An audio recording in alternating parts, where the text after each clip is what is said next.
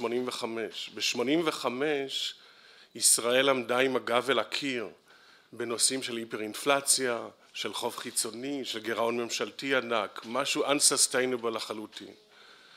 והדבר הזה אפשר למיכאל ברונו בעזרת כמה אנשים טובים אחרים לגבש תוכנית שהייתה די דרסטית, אני רוצה להזכיר לכם, גירעון הממשלה היה 14 אחוז מהתוצר, היה משטר שער חליפין מופרע, היו עלי, המשק הלך להיפר אינפלציה של מעל 400 אחוז, התוכנית של 85, של יולי 85, בדיוק לפני 26 שנה, כללה דברים דרסטיים, הורידו את הגירעון לאפס, למעשה יצרו עודף, שינו את משטר שער חליפין, עשו הקפאה של מחירים ושכר עם תוואי מוגדר. ועוד ועוד התחילו גם לעשות רפורמות, הכל בתוכנית אחת שתוכננה פחות או יותר על ידי אדם אחד פלוס סטנלי פישר, איתן ברגלס וכולי. אני חושב שנדרש או ייתכן לעשות משהו דומה היום אם כי הנושאים הם לגמרי שונים. נדרש משהו עמוק, משהו דרסטי, כי אני חושב שאז מיכאל ברונו אמר אפשר לעשות תוכניות כאלה רק שהפוליטיקאים עומדים עם הגב אל הקיר ולכן עם השיח הציבורי החדש הזה והמודעות המאוד גדולה נוצרה פה הזדמנות. מצד שני אני מסכים אגב עם שרגא ברוש שאמר אי אפשר להטיל הכל לפתח הוועדה הזאת. לצפות שכל החולאים וכל הקשיים יתוקנו על ידי ועדה בשישה שבעה שמונה שבועות. זה פשוט באמת לא רציני. מה מה לדעתי צריך לעשות? צריך שהוועד לחלק מעין טווח קצר טווח ארוך.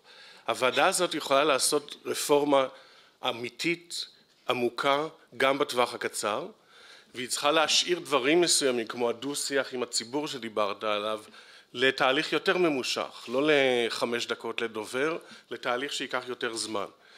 מה התוכנית הממוקדת שאפשר לעשות לדעתי לנצל את ההזדמנות ואנחנו מפרטים במסמך כמה הצעות ולא להישאר באיזה מסגרת מינורית. נשמור על ההוצאות נשמור על המיסים.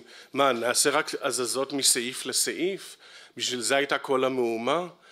אפשר בהחלט לעשות שינויים עמוקים נוסח שמונים וחמש בלי להעלות את הגירעון בלי לפגוע בתוואי חוב תוצר ולעשות הגדלת הוצאות שמלווה בהגדלת מיסים שאת ההוצאות צריך הגדלת ההוצאות הזו צריך לתפוס כסוג של השקעה השקעה ממשלתית בדברים שדני דיבר עליהם בתשתית אנושית בתשתית פיזית.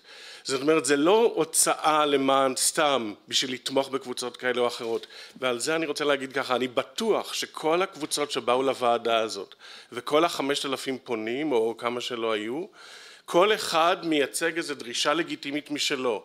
כל קבוצה פה יש לה רצון שהממשלה תטפל בה תגדיל לה את התמיכה תעשה ככה תעשה אחרת. הנשים החד הוריות הזקנים הילדים התינוקות כולם כולם רוצים עוד.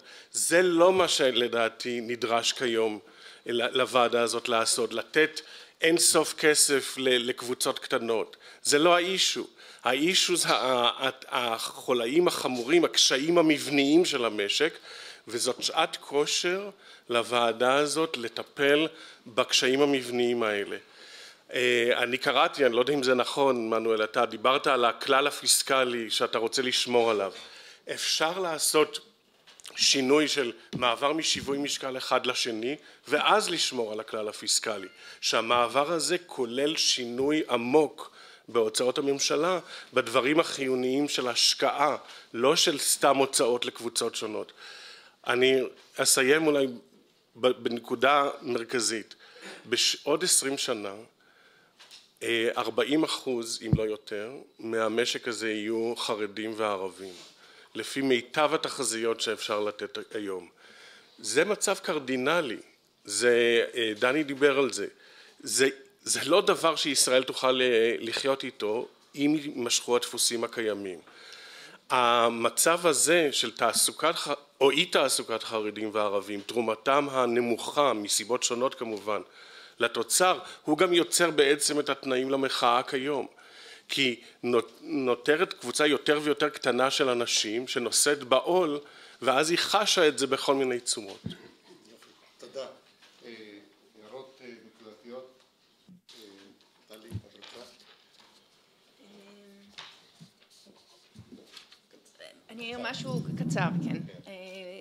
נושא ההוצאה או גודל הממשלה זה נושא שאתה אוהב לדבר עליו אז אני לא אאריך אני שמחה שיש חוסר הסכמה ביניכם, אני חושבת שכמו שאמרת ערן יכולים להיות שני שיוויי משקל, זה שבמדינות צפון אירופה ההוצאה הממשלה היא יותר גדולה נובע גם מתוך זה שהעוני שם הוא יותר נמוך ולכן המיסוי יכול לממן את זה.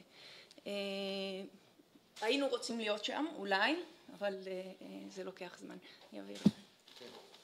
טוב, תודה לכם, אני לא ארחיב, אני מודע לעבודה הרבה שיש מאחורי הדוחות האלה והדוח שהגשתם ואני מודה לכם על כך. הדברים כבר חברי הוועדה קראו ולקחו בחשבון, אני רק רוצה להעיר הערה קצרה מאוד ערן. אמרת בצדק, הבעיות בפניהם אנחנו ניצבים בעיות מבניות קשות. את הבעיות המבניות הקשות לאו דווקא קונים בכסף מחר בבוקר. וזה דבר שצריך לחזור ולומר ולחזור ולומר. האשליה הזאת שגודל הפתרון כגודל פתיחת הברז פשוט טעות חמורה. דני, אתה הזכרת את מה שקרה, סליחה, רן, את 85, כן? הגענו ל-85 כי חשבו שכל דבר בעולם ניתן לפתור על ידי פתיחת הברז. כך הגענו ל-14 אחוז גירעון ולאינפלציה של 400 אחוזים. אנחנו לא רוצים, לא שלא רוצים, לא נחזור לשם. וצריך נורא להיזהר שלצד הציפייה האמיתית לשינוי, לשינוי מבני, לשינוי כיוון, ש, ש, שהוא אמיתי, שאנחנו, זה המנדט שלנו, אנחנו לא נזרוק את התינוק עם מי האמבטיה. ולכן צריך נורא להיזהר באמירות האלו. תראו, אני אומר לכם אמיתית, רוב הדברים שעולים בפנינו הם כאלה שכסף לא יעזור. זה לא אומר שלא צריך לעשות, צריך לעשות הרבה מאוד. אבל לא לברוח מהעשייה הזאת לחשוב שאם אתה פותח את הברז אז הכל יסתדר. זה הוויכוח האמיתי. וזה לא, אתה יודע, עניין של דוגמה לגבי כלל זה או אחר. זה לא הנקודה. זה הנקודה שבמדינת ישראל נוצר הרושם המוטה, כן, שכל דבר בעולם רק תפתח את הברז וזה ייפתר. וזה לא ככה. זה מונע מאיתנו להתעמת עם הדברים האמיתיים. אז, אז, אז זה חלק מהדיון שצריך להתקיים כאן ואני מודה לכם על כך שאתם מציפים את הדברים. כן, כן.